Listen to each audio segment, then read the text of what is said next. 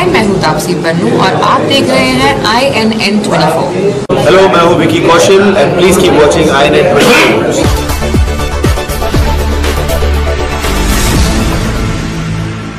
नमस्कार स्वागत है आपका I N N twenty four पर और आपके साथ मैं हूँ पहली चौहान। 18 मई को अकोला के आइकन हॉस्पिटल में कोरोना से इलाज के दौरान गणेश गुरबानी की मौत हो गई थी। जिसके लिए रामदास पेट पुलिस स्टेशन में गणेश गुरबानी के बेटे लोकेश गुरबानी ने दी गई शिकायत में कहा है कि आइकॉन हॉस्पिटल उनके पिता गणेश गुरबानी के मौत के लिए जिम्मेदार हैं, जिनका ऑक्सीजन लेवल अचानक कम हो गया, जिसकी खबर वहाँ मौजूद डॉक्टरों को दी गई। लेकिन इस ओर उन्होंने जरा भी ध्यान नहीं दिया। जिसकी वजह से कुछ ही समय के भीतर गणेश गुरबानी की मौत हो गई। इसके लिए हॉस्पिटल के व्यवस्थापन और डॉक्टरों पर हत्या का मामला दर्ज किया जाए। इसी को लेकर 20 मई को जिलाधिकारी जितेंद्र पापलकर को भी आइकन हॉस्पिटल की मान्यता को रद्द करने और उच्च स्तरीय जाँच की मांग को लेकर गुरबानी परिवार ने ज्ञापन दिया। आपको बता दें कि गणेश गुरबानी किराना के थोक व्यापारी के रूप में पूरे विदर्भ में बहुत चर्चित हैं। इनकी इस तरह से हुई मौत से पूरा व्यापारी जगत शोक में डूबा हुआ है। गुरबानी परिवार ने यह भी कहा है कि यदि उनकी मांग पूरी नहीं होती है तो वह आगे उग्र आंदोलन करेंगे और दोषियों को सजा दिलाने में हर संभव प्रयास करेंगे। जबकि इस पूरे मामले को लेकर जब हमारे संवाददाता शाहिद इकबाल ने आइकॉन हॉस्पिटल के डायरेक्टर के के अग्रवाल से संपर्क साधा तो उन्होंने लगाए गए सभी आरोपों को बेबुनियाद बताते हुए जाँच में हर संभव सहायता देने की बात कही। अब सभी लोगों की निगाहें इस पूरे मामले पर लगी हुई है।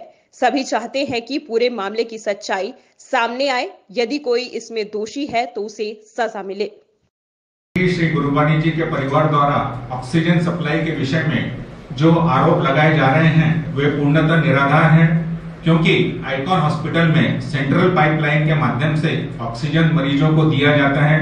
दिनांक 18 मार्च को भी श्री गुरबानी जी जहाँ भर्ती थे, वहीं ऑक्सीजन सप्लाई बिल्कुल ठीक थी और वहाँ पर आईसीयू में दूसरे मरीज़ भी भर्ती थे जो वेंटिलेटर और ऑक्सीजन जिनको वेंटिलेटर पे थे और जिन्हें ऑक्सीजन शुरू था। उन मरीजों को किसी भी प्रकार की, का कोई नुकसान नहीं हुआ।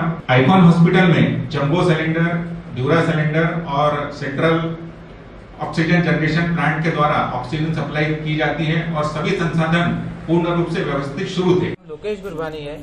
18 तारीख को दोपहर में जो दुर्घटना हुई हॉस्पिटल की गलती से, जो मेरे पिताजी की जान गई है जो डिसेचुरेशन का ऑक्सीजन उनका हॉस्पिटल का इंफ्रास्ट्रक्चर की गलती की वजह से जो इतनी बड़ी हमारे परिवार के ऊपर जो इतना बड़ा संकट आया है, हम उसको रोकने के लिए आंदोलन कर रहे हैं। हमने 18 तारीख से कंप्लेंट दिया है, पर अभी तक हमको कुछ भी एक्शन नहीं दिख रहा है। अभी हम जिला अधिकारी कार्यालय में आए, हमने कलेक्टर साहब को भी, हमारा जो भी प्रूफ था डॉक्यूमेंट्स हमने सब सबमिट किया है। उन्होंने हमको आश्वासन दिया है कि हम इस पर तुरंत से तुरंत कार्रवाई करेंगे।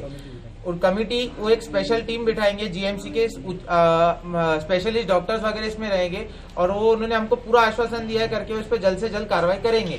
अगर हम इस पर कुछ कार्रवाई नहीं होती है, हमको सेटिस्फेक्शन नहीं मिलता है तो हम उच्च से उच्च स्तरीय जाँच करवा, करवाएँगे, आखिरी सांस तक लड़ेंगे। हमारे चैनल को लाइक और सब्सक्राइब करें और बेल बटन ज़रूर दबाएँ, ताकि आपको हर खबर की अपडेट मिलती रहे।